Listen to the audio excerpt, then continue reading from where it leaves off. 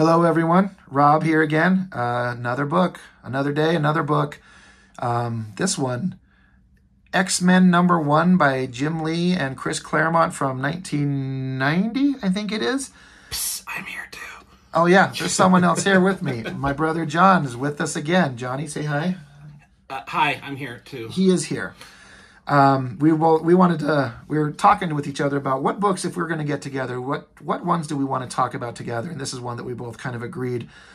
Um, i think mostly for me because of the nostalgia significance of it at the time this was the coolest neatest greatest biggest thing that ever happened in comics at the time. Yeah.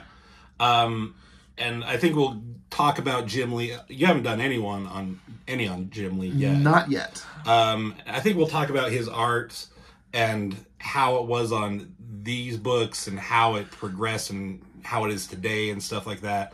But like this was a significant impact on my in- influence, and I'm sure, and I know yours. yes Of for our artistic endeavors. Yeah, I agree.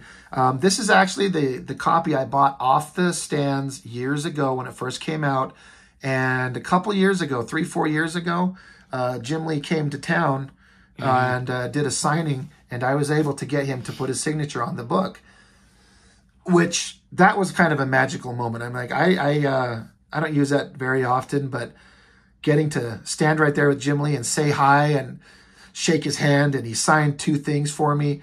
I was just floating. I was glowing. It was just the greatest thing ever. But yeah, this book, this is the one I actually bought at the time. Um, everyone knows. I mean, the thing about this book is everyone's talked about it a million times. There's not really much to add to it in terms of what it means and the content, but what it means to us is kind of interesting. Um, one thing we were talking about off camera before we started this is one of multiple covers. We have another one here with us. This is the um, what is it, the special edition? Yeah. Would that be what we would call it? Um, there were multiple covers, and you kind of you'd pick up a book and you'd have one of multiple different covers. But this has a gatefold cover that has them all on there. Um, one thing I wanted to point out is you'll see here Wolverine's claws are out on both hands. On this one, it's only out on this hand. Um, the reason that I read about is because in this box on certain um, copies, this was a picture of Captain America's head, and they didn't want his claws stabbing into Captain America's head. Now, this one, it only has the barcode printed. There was different versions printed for different reasons. It seems kind of ridiculous, but they removed his claws. Kind of unnecessary. Yeah, it's it's interesting looking at these side by side to seeing like some of the different the other differences. Obviously, like there's some coloring differences, like this this sheen on his his shoulders, and it's not really there. Yeah. Um, but you got kind of a little one on his muscle muscle there. But then even the backgrounds, like obviously the titles are different, but he like there's this weird cackle that's probably from the other gatefold, like the other covers, and more of the covers that just gets disappears. Well, the interesting thing, the original artwork, he drew the X Men logo that you see here into like the rocky backdrop. In this one, they just covered it over and just put it, you know, slapped up the typical X Men logo. But this is actually drawn by Jim Lee, so that's way more interesting. But I could see they want to stick with their regular Yeah. corporate logo. the the white in the blast. Yeah. Call that is way more. Yeah, it's really one. interesting um, why they did like this is a glossy coated paper. This is newsprint. Um, for some reason, the newsprint looks better to me, and I can't justify why. Maybe it's just my I'm just my connection to the original version that I've seen. Yeah. While we got this here, let me just pop open the the whole gatefold cover um, to see it. We're not gonna get all of it on camera. Oh, close. We can get three for sure. I mean this this was definitely the cover everyone wanted.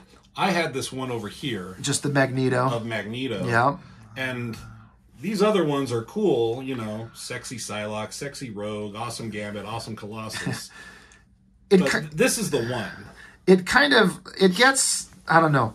This is the if I had to choose, I would take this one over anything, and then this second, and then that third. As far as the X Men, so it's kind of in descending order of how cool I if I could choose which ones I wanted. They're all great. All these figures are amazing. I always thought that that Rogue, I mean Psylocke's always the hot one, but I thought that Rogue image was just super Yeah. good. And I also really like this Jean Grey. That pose and her energy that's emanating out there. And like the ice slide coming all the way through. Yeah, it could, you know, uh, again, why do they have these little lines on here? What does that describe besides absolutely nothing?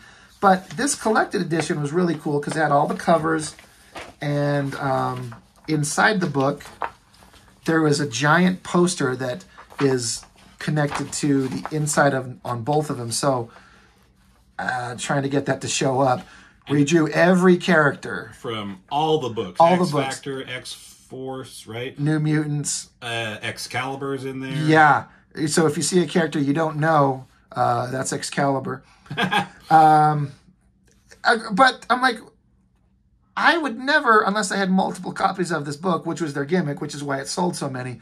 I'd have to have multiple copies of this book to then rip the cover off to display this poster, which I never did. But we're, but we're, right. These weren't, these weren't in the other, right? No, no. Yeah, so you'd have to get this one special edition and then rip the cover off. Um, I think we want to look through the newsprint one, but as far as this one, um, it's just some of the extras in it. I think it's at the very back. Very end of it. There was neat stuff in this.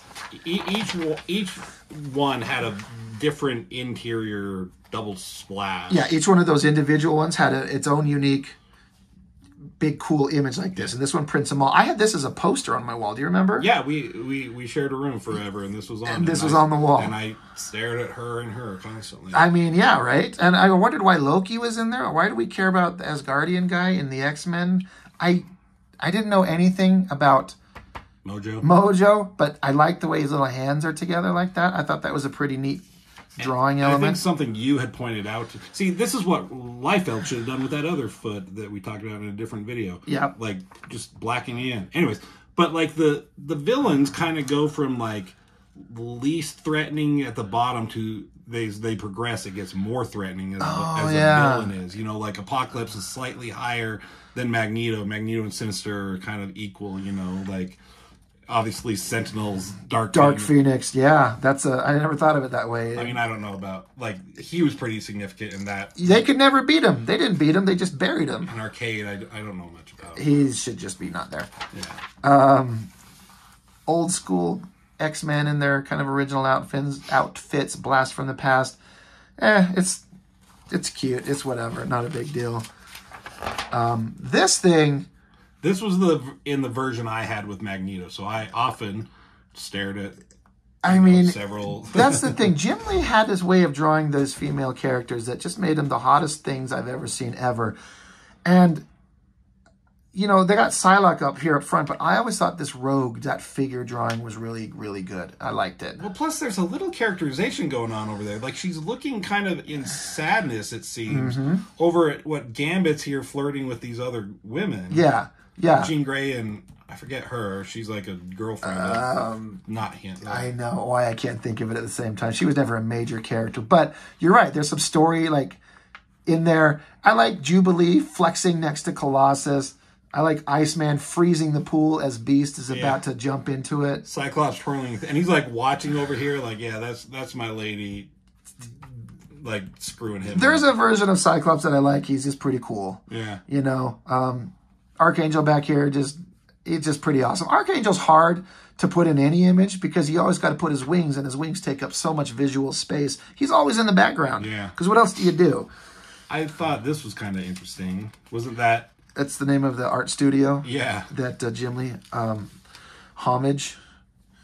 Um, yeah, that was a great. You know, it's just fun, like a swimsuit thing. Some people think it's tacky and stupid and pointless. Sure, but it's fun. yeah. Where did Jim Lee find? Like around this time, he he did these issues. He did all these pinups, but then he did like around the same time he did the the X Men card series. Mm-hmm. Like he did every single one for every X Men character. Where does he find the time, man? I I, hope think- he got paid a lot. I think he got paid really well, and that's why he was doing it. That's why he's a millionaire. Um, this one was like this was interesting because it was after the first issue of X Men. Things to come. These were things that came up in the X Men books um, in the series that Jim Lee was doing for for just his little run, with the exception of her. Which is who? I'm not 100% sure. Um, there's a, a character from the uh, Hellfire Club. Selene? Maybe that's it. I think that might be who that is. I don't know, but that didn't, that girl did not show up in the Yeah. the books. Omega Red was going to be one of the biggest, coolest things you've ever seen, and for a second he was, but he really turned out to be a big giant nothing. Yeah, I mean it's kind of cool. Like you didn't know what that was at the time, besides the skull, but that's Ghost. That's Rider. Ghost Rider tying into the Brood and to the story they're going to do. Longshot, he had come and gone in the comics as a major character long before I ever started reading, so I don't really know anything about him, so I don't have a connection to him. But people loved him. Yeah, and then these two is that the Belladonna? Yeah, that's and, connected to this. and then that, I don't know, Uh, nothing. That- Not, I don't know what that is. Um, interesting, you know, they, they knew what they were doing. Hey, you're going to do multiple covers, and each cover will have its own unique pinup. It'll drive sales because people will want them all. And it worked. Eight point something million copies. Yeah, That'll never be beat. Something I really loved and wish there was more of was uh, Jim Lee's sketches and kind of designs, figuring things out. These things are always profoundly interesting to me. Um, there's nothing really crazy. I actually really like this figure of Cyclops. I think that looks great. It's just it's a sketch, but it looks great. is this? I like we just did a video. Maybe if you're not watching these in the way we recorded them, but we just did one of Rob Liefeld talking about like the exaggeration of a character with the legs. Mm-hmm. This is kind of like the same thing. Like his legs are longer and he's really tall, but it's done right. It is not as much of a difference. It's just basic from his ankles down is not balanced. But it needs to be elongated. These are comic book characters, so they're they're stronger, they're more physically fit, they're elongated, they're more dramatic, but that's exactly like you're saying. It's exaggerated, but it looks good. Um, and that was all for that. Um, and then that's the cover for issue two coming out. So that's the uh, expanded book. Did you have anything else on this one before we move on to the next No. one? All right, yeah, let's bust out that one. Again, that's the uh, this is the uh, copy that I actually bought off the shelf, and man, I read this thing over and over and over because Jim Lee's artwork. He'd been doing Uncanny X Men for um, a long time before this, and he just become at the time was the best artist I had ever seen out on any book ever in the history of ever. Everything he did was amazing, and this was like the pinnacle of it in a way. Uh, time and maturity have kind of changed that a little bit, but it's still great. Oh yeah, I mean it's still great. Like, like there are better artists in certain ways, but like the the way he does things and it's like so dynamic and like. I, I don't know if I could choose an artist and the way they drew at a certain time on a certain book, it might be like putting this version of Jim Lee back on this book to draw another like twenty to thirty issues would be a dream come true. Yeah, I would watch him draw X Men.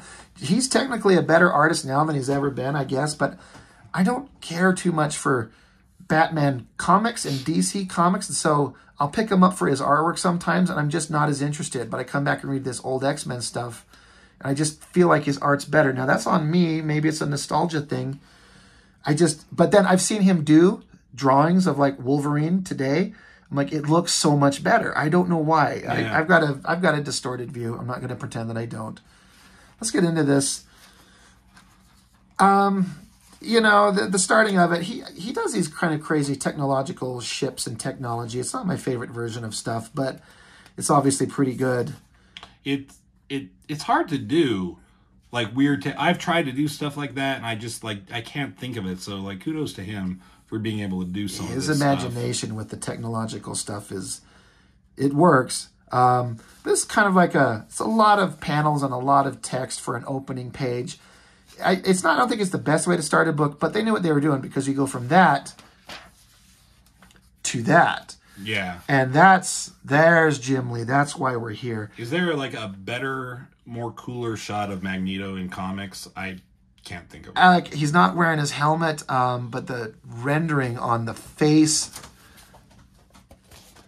it just looks so good. I can't tell you. Like if you didn't know who this character was like you are enthralled like i'm it's almost like the darth vader coming through at the first time Like, Yeah. you know like this guy is powerful Yes. he is not someone to be messed with Yeah, and you're on board. You're like, okay, let's see what else we got. And then this big face shot, I always just was enamored by it. By the the black and white line work with the shading and then the coloring with these highlights of this underlighting. Yeah. I remember looking at that. I'm like, how? Where do you even start to draw that? How do you even figure that out? Like you get it now, older, and you've drawn stuff. Like we get how to do it. I'm not saying I could produce that, but at the time as a kid, I'm like, I don't. I how do you even do that? Yeah, the stuff on the nose with just like the the straight lines. Then he goes up here to the cross hatching. Yeah, it's just really good. It's really good. I want to pick up that Jim Lee Artist Edition, X Men Artist Edition, which is just black and white artwork. Um, that stuff looks amazing. Um, and the story, I mean, there's nothing really interesting here. There's just story talking lots. How many words are on that page? I mean, a man, lot. there's a lot. It's basically Magneto's back. He was away for a while. Now he's back. We got to be worried. And the, the governments of the world are scared. yeah. So who who are you going to call? Oh, of course. Oh, that- Right. Yeah. Not Venkman and Yeah. Um, it's funny how this looks great and at the time i i, I still like it um and you saw those crazy amazing colors on magneto's face in that panel there like there's multiple colors given highlights this is wild look at this beast it's just flat blue flat like there, all these other characters have some highlights and some sheens and some glows there is nothing there I it's wild. It doesn't That yeah. I'm, isn't I'm, that weird? I'm pulling out like the other version just to see if they did something Let's slap different. that down right next to it. Let's go side by side. And so again, this is on newsprint, and then this is a coated glossy paper. And this is way more vibrant in every way, but even still, that's just a flat color. No, no highlights. And that has to be a conscious choice. I mean, I think you can see a little shading in here, barely. Okay, and so that is on there. You're right. I there just it's like a if the the lightest blue is like one way, then they took it up by five percent to do a little bit of tones. It doesn't reproduce that that well. I don't hate it, but it's just really interesting that it's just that flat color. Right.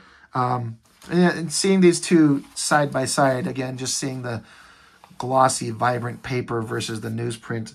I, I don't know why I can't tell you why the newsprint eh, for some reason looks better on some level. I don't I don't get it myself. But Yeah. well, keep that book handy. We might need to reference it as we go through it.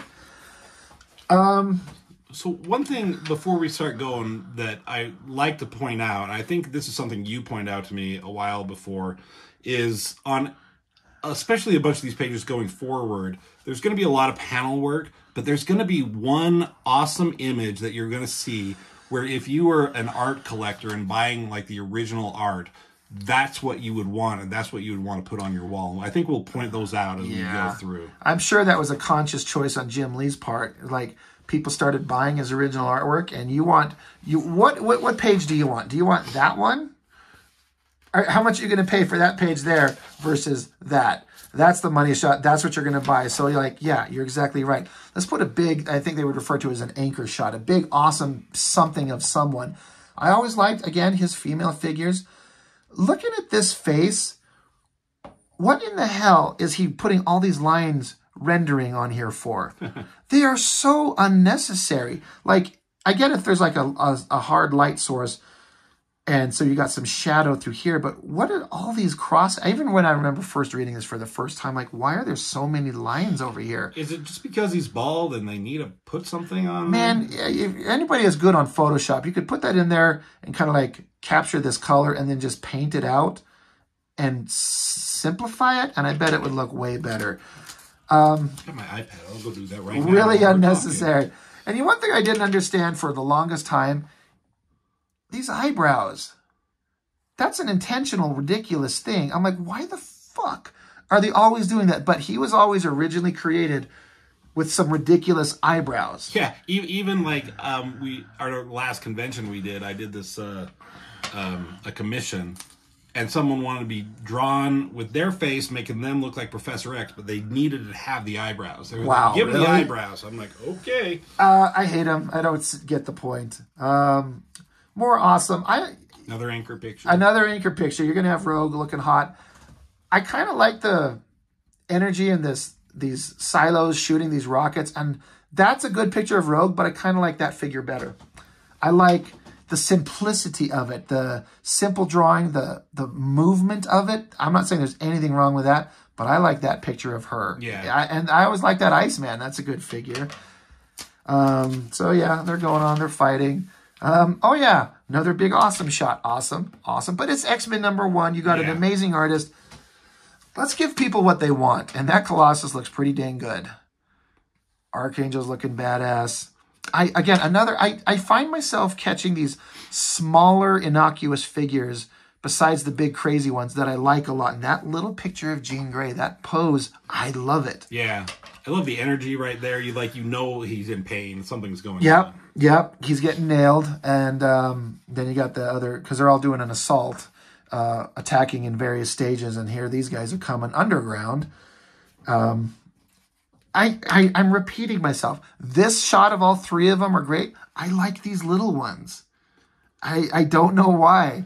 I just love those little figures. Yeah, and like that form of Psylocke, where they're kind of hunched over, like it wasn't like overtly like sexy or something like that. Like that's a hard pose. It's a hard pose. It's easier to draw the super sexy shot with the, the boobs and the butt and all that type of stuff. But she's very in character. She's sneaking. She's being quiet. She's in character. Um, but yeah, you there got- we go. You got to have one. Then you got to get the awesome shot of her. You know what's interesting is I did a little exercise not too long ago, a couple years ago, where I took a lot of these images. Like this was one of them. I found an image of it online. I printed it out, and then I got out my lightbox table and traced just the body, just the figure, just to eliminate, not to make her nude, but to eliminate the clothes and the the hair, and just to draw the figure. And it looks weird. Yeah, It really does. And like that doesn't look weird for some reason. I like I think the upper body looks great, the arms and the shoulders. But just this lower part, the way it's kind of all kind of connected, it looks kind of weird. But at the time it was that's some hot stuff. Um, and talking about Psylocke, and I think it was maybe just the version that Jim Lee did. Um, I think later, like people started making her hair more, like her hair bigger, her more hair wavy. Um, like he always kept her hair very kind of, I don't know, tight and refined. I, you, you I was gonna say I thought that it was like maybe pulled back together in a ponytail, and I don't think that's actually correct. But I see what you're saying. He kept it not this big hair. It was always tighter and together, almost like ponytail ish. Like you were, you're not wrong. Like on this one, it's kind of tucked behind her. I think I'll point it out as we go. Um, you're right. I never thought about that, but you're right. That was like a visual thing that he would do that's made her stand out. That's a that's a good uh, a good point out there. Um, this was interesting. You find out on this page that the X Men are in the uh, I almost said the holodeck, which is basically true, the Danger Room, but they're supposed to be hunting down Professor X. But Wolverine, I mean, it seemed a little excessive, but he actually claws his way through the actual machinery of the actual Danger Room control room, and shows up and quote unquote kills the real Professor X. I'm like, all right, I guess that's cool. A little Yeah. unnecessary. That's a lot of stuff for Forge to fix. Well, that's Wolverine. For That is Wolverine. He's being a pain in the ass. Um, and then him What do they think was going to happen? They they they had a robot version earlier, like that got blown up. Yeah. When Gambit kissed Yeah. Jean Grey, and you found out that was a robot. Both him and the professor, or her, Jean Grey, and the Professor X robot in the Danger were blown up. So Wolverine's like, well, they're done. I'll go get the real one. Um, I kind of like this where he's talking about like she's like, "Oh, Gambit," you know, when he kissed her, like, Yep. that eyes, that grin, and he's just sitting here like, like remind me to drop a truck, and like Professor's like, "Cyclops, Cyclops, a big truck, a really big truck. Cyclops, God yeah, damn it!" yeah, it's like the deadpan humor. Um, that was a funny little writing moment. I liked that. Um, Danger Room session's over. Wolverine's had enough. He's going to go do his own thing. Uh, the story continues with them talking about. I always kind of enjoyed that. That is a good face. Um, I I always kind of like that one too, but that's a great face. I like the shadowed Wolverine. Um, again, unnecessary lines everywhere. Eh, it's not the worst thing ever, but it's a little unnecessary. There's that big center poster like we were talking about. I already talked about that enough. Um, Meanwhile, back on Asteroid M, Right, for real. Um, these villains combined with some government soldiers that were chasing them that Magneto took in. Right. The, these are mutants and these are humans. I, I Right. Can't, I can't remember. Right. Yeah, no, you're right. There were some mutants trying to find Magneto and some humans chasing them. And Magneto, he the character had kind of abandoned his evil ways. He just wanted to be left alone. He wanted to be on his asteroid M I floating he- around. I think he wanted to start his modeling career too. Probably because he's a handsome old man. But this violence is brought to his doorstep, and a mutant was killed in front of him. So he uses his powers to force this soldier's suit to point his gun at his own head and kill him. And Magneto is kind of realizing he has to, he can't just hide from the world. Of course, it's comics. Um, so the X Men called into action Anchor shot. anchor shot. Love that Wolverine. Beast looks great, but love that Wolverine right there. I think he like got every major character like a cool defining shot. Yeah, oh yeah, you're not wrong. Um, so they're off to go. This is uh, related to a old issue of X Men where Magneto sank a Russian submarine, and so he's digging up the wreckage of that submarine to collect the nuclear missiles from it to have weapons. Yeah. I'm actually surprised he didn't make this image bigger. Right. Like it could be like if I would have done, I probably would have made that kind of a forefront, put panels around it, making that an anchor picture, Yeah.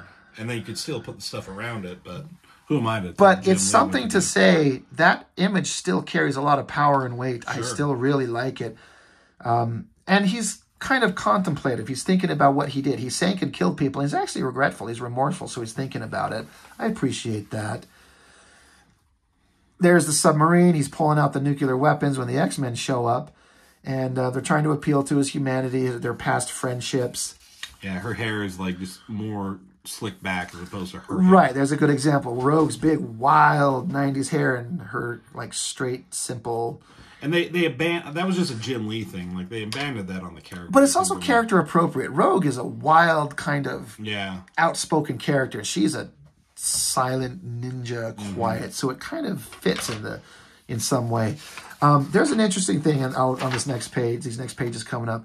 A great um, Magneto freezes the X Men's jet in the air, so Beast and Gambit jump out to distract him. Now, do you notice anything off about this page? Um. I didn't notice it for years. No. Oh my God. His clothes, his jacket is 100% not colored in. It is Alright. black and white. Hold on. They fucked up somehow and did not color. Right, slap that down right there. And I've never heard anyone mention this. Here's his jacket colored in, but it's just black and white. That's funny. It's weird, right? just a funny thing. I don't know that I noticed it the first time I read it, but at some point I'm like, well, somebody screwed up. Yeah. I don't understand. He, did he change the direction of these cards? Well, yeah. So Gambit charges them up and throws them. He's like, "Let's see how you charge these. Char- I won't charge these cards enough to kill." And there's the motion of them getting shot back. Now Magneto controls metal. Yeah, that's why. Are they I'm- metal cards? That's why I'm confused. Sure. Why not? Oh, Liefeld crotch shot. Whoa! What are we looking at? It's a great shot. It's. I'm surprised he actually did that just for the. If she was in like not a bikini or a bikini, but like a swimsuit thing that had so much skin, if it was just straight black leather spandex, this wouldn't be so weird. It's a great drawing, like it's a great drawing, but it really stands out as like wow. Um, okay, Yeah. you know, I, I don't mind it, especially young prepubescent me. I was on board, but I, I think you could have done that some other ways. But it's fine. Sure, that went for quite a few bucks. I'm sure that sold a lot. I always like this shot of uh, Cyclops' face and the laser shooting. I always liked him. The background there as Wolverine's charge. Yeah, like silhouetted with just the glow on his laser eye there. I always like this panel right here with the heavy lighting and shadows on the face. It shows real planes and three dimensionality. I, I think that looks great. Um,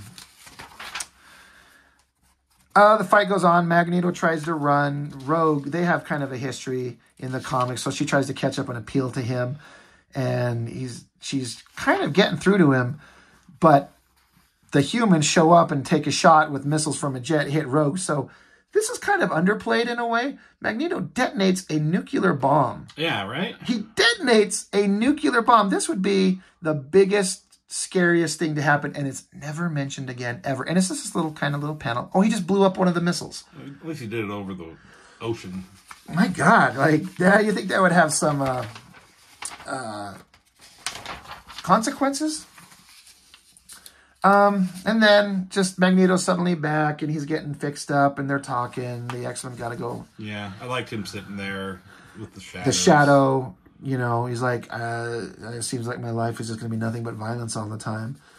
And then Rogue is in some hospital, and Genosha, right? Right, but there's this weird time jump from he goes back up to his thing and re- recovers, and she's in a hospital. But then, oh, the fight continues. There's the bad guys that Magne- went and joined Magneto, and the fight starts again. This is a badass moment for Gambit. I got to tell you, this uh, character shoots a grenade. He catches in his hand and throws it back to her. Impossible, but badass. I wanted to point out, I always love this where she flies up and punches that guy. Like the the the power you can see, like she's swooping in, just knocks him dead. Yeah. you know, um, that's a hard angle too. good movement, good energy. Um, more great shots of Wolverine. Everyone likes to draw him. Uh, I liked this was a bit where Psylocke, her uh, inner thoughts, she's explaining how she could use her telepathy to take this guy down, but she actually likes the physical part. She wants to get in there and physically beat somebody's ass. And I don't know if she tackled me, I'd probably let her. Right. It and this is a writing style. Like there's so many words in Yes. this fight. You know, and she's Oh. thinking this all in the span of like how long would that take? Like, Three seconds. Yeah. Yeah.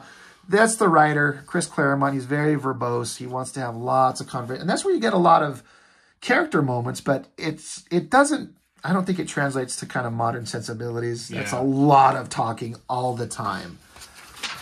And then it ends right here with Magneto showing up, um, declaring his intentions. I hope you've got a half hour to read all the words, all the words, all the words. At the time, I, I got to be honest though, I didn't mind. Yeah. I've maybe read this in its entirety once. Every other viewing of it was reading kind of the cool parts and just digging the artwork. But as far as reading the words, the one time. I, I I had gone back and like just having looking through it for so long. I'm like, I should actually read this. Right. And I did, and it's it is what it is. Like you can kind of make sense to it. It's hard to read, and it probably doesn't make sense if you're not a comic book reader. Right. Um, you kind of have to know how comic books are written for it to make sense. You have to be familiar with the language of comics and how they're done. Yeah. To like, why are they doing this this way? This is Yeah, for uh, another example is uh, when I read the DC book Crisis on Infinite Earths. You know that was written in I think the '80s. It's really strange and weird book, and I barely understood it just because I understand how comics are made. I could see anybody else reading that storyline, which was huge Right. in comics, and being like, "What is going on?" right. Uh, the way the comics are done has certainly changed. Um, I didn't mind it at the time. It's it's a little crazy, excessive, but anyway. Well, Johnny, we are 33 minutes into this. That went a lot longer than I expected. But this book meant so much to us. I was so excited for this to come out. It, the hype for it. I mean, I was going to that shop every day, and they were actually hiding the books because people were. They would take them from the comic rack and hide them behind the magazines in the magazine rack to then go home and get money to be able to buy it. And so I would come in and ask them, Did you ever get X Men number one? They're like, Yeah, I have it behind the counter. I'm like, Why are you hiding it? They're like, You guys are hiding it, not me personally, but the fans would come in and start hiding books. Um, this was the biggest thing ever. And at the time, it I felt like it it um it matched the hype matched my experience reading it at the time. Right. I don't read this. This was around the time that I first started getting into comics. Like, I was aware of them, but you know, and you and our other brother were reading them quite often. I'd look through them, but I was way younger. Yes. But I remember like this is when I really started paying attention to stuff. That's what grabbed your attention. Yeah. Yeah. So th- this was around the time that comics were really a thing for me. Yep, I agree. It's uh, it's a major thing, and it's uh, it's got a legacy that I mean, eight million copies. It's the highest selling American comic book. When you look at uh, copies of like manga that are sold, this is left in the dust. It's not even close, and it's all because of multiple covers and the hype about it. But that record will never be broken in American comics. No one will ever do 8 million copies of an X Men or anything ever again. Yeah. But the industry and entertainment has changed way more. But great book. Go ahead and slap that back up here with it. Um, a lot of fun. Great book. The nostalgia and the memories will just always live with me. So it was fun to look at. Yeah. Johnny, thanks for looking at it with me and Of course. going on and on about it. It's fun. X Men. If yeah, it's it, it's hard for people to understand how big X Men were then at the time and how the Avengers were kind of stupid. oh yeah. They were so lame and boring and a joke. And now Avengers are the thing because of the movies, let's be honest. And X Men's kind of like, I feel like anything X Men that's awesome in a lot of ways is riding on the how what a premier property they were at this era. And that's what most people think of. And it was kind of pushed their popularity to this day. They're just not quite what they were. And then the movies have kind of helped maintain that a bit. But Yeah. it's hard to understate what the X Men were at this time. They were the premier property of everything. And really quick before we leave, Yep. the X Men animated series that was heavily influenced. Oh, yeah. like these are all co- like Wolverine gets a different costume in a few issues, but like Cyclops had a different costume. Like every you know Jean Grey did. Like all the designs that he did were translated into that Yeah. that It was basically the cartoon, and they're bringing that cartoon back. And I'll be interested in like Yes. same designs, Yes. same kind of thing. yeah. That cartoon was 100 percent the Jim Lee version of the X Men, and uh, there was a reason because this was so popular. If you're going to make a cartoon, you're doing that version. Yeah. And yeah, we'll be interested to see what that new animated series is like. Anyway, uh, that's all for now. Thank you if you've stuck around. This is the longest one by far. Good Lord. Um, but uh, appreciate everyone uh, watching this and chiming in. If you chime in, talk to us, give me a comment, tell me what you think about any of this. So that's all I've got for now. Yep. All right. We'll catch you on the next one. Thanks. Yep.